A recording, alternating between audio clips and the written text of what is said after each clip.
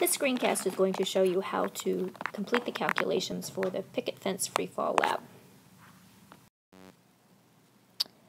All right, the first calculation we're going to take a look at is going to be down here in the analysis. So it says from your six trials, determine the minimum, the maximum and the average values for the acceleration of the picket fence and record them in the data table. So up here you'll see a place for the minimum, a place for the maximum, and a place for the average.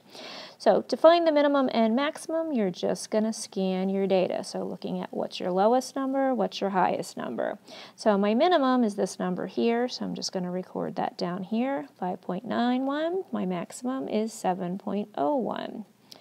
Okay, the average is a bit of a calculation, so I'm going to write my numbers out. I have 6.21 plus 5.91 plus 6.02 plus 7.01 plus 6.55 plus 6.47. And I need all of those divided by 6 since I have 6 numbers or 6 data samples. So just be careful when you enter this into your calculator. You want to make sure that you either use parentheses around all of those numbers, or if you don't like using parentheses, when you get to the end here, that's the last number you put in, hit equals, and then hit divided by 6 so that you don't have an order of operation error. Okay, and when I do that, I get an answer of 6.36 meters per second squared. Okay, and you'll see there's a place up here to record that in the data table. And you don't need the units because the unit is actually in the table, so that's already taken care of.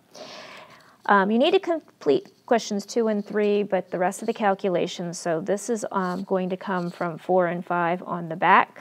So um, I'm going to go to the back page. I won't be coming back to this, but remember this is where those data tables, um, or where that information from the next calculations will be put into your data table. And there is an example in the lab, but I'm going to go through again using my numbers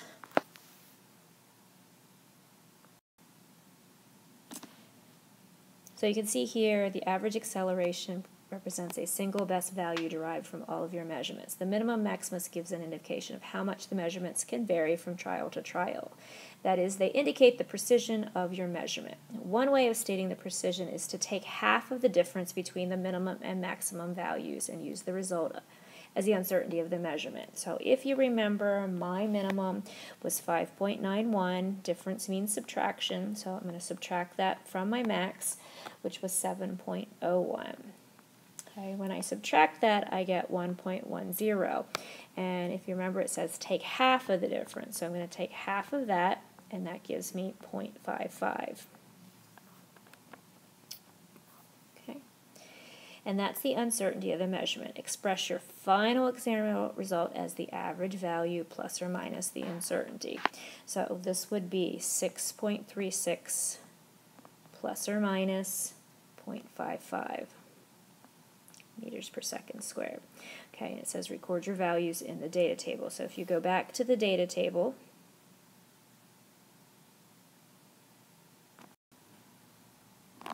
Okay, you'll see a place where you're going to record that on the data table that says acceleration due to gravity, comma g. Make sure that number goes there. And then the last is your um, precision. And again, that you will see that word precision on the data table on the previous page. And that is going to be um, using what your value is. So you'll see it's the 0.9 as the plus or minus part divided by what the average is.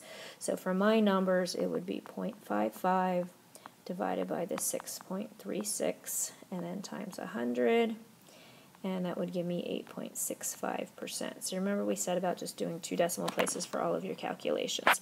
Okay, and that is how you do the calculations for the picket fence free fall. You should be able to answer the remaining questions including the extensions 1, 2, and 3, um, and complete all of that and turn your lab in when it is finished. Thank you.